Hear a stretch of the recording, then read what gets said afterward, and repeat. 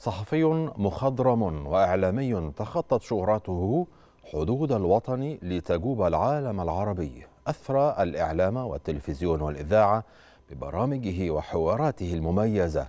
أثارت لزماته على لسان المشاهدين يعرفونه من خلالها.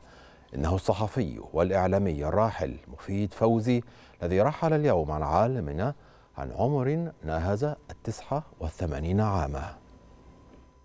شخصية صحفية وإعلامية فذة؟ ونموذج فريد لا يتكرر من الشخصيات الإعلامية. إنه الإعلامي المخضرم مفيد فوزي الذي أثرى الصحافة المصرية بنشاطاته المتعددة. ولد مفيد فوزي في الثالث عشر من يونيو من عام 1933 في محافظة بني سويف وتخرج في كلية الأداب جامعة القاهرة قسم اللغة الإنجليزية في عام 1959 1950 ظهرت موهبته المبكرة في الكتابة ولفتت نظر والدته التي شجعته على خوض غمار التجربة فانطلق يجدد في عالم الصحافة. بدأ مفيد فوزي حياته صحفيا متدربا بجريدة روزا اليوسف ثم تم تعيينه محررا بمجلة صباح الخير في عام 1957 وتتلمذ على يد رائد الاستنارة أحمد بهاء الدين ثم أصبح رئيسا لتحرير مجلة صباح الخير لمدة ثمان سنوات على التوالي.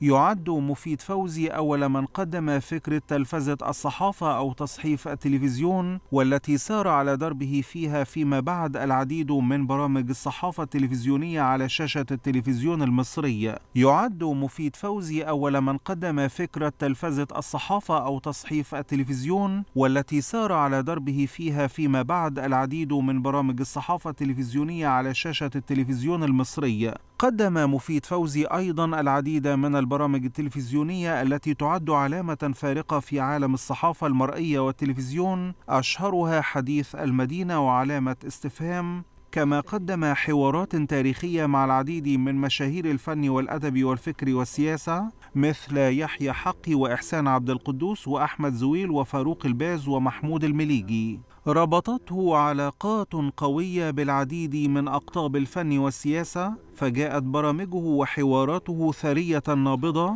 وقدم وأعد العديد من البرامج الإذاعية والتلفزيونية في مصر والعالم العربي.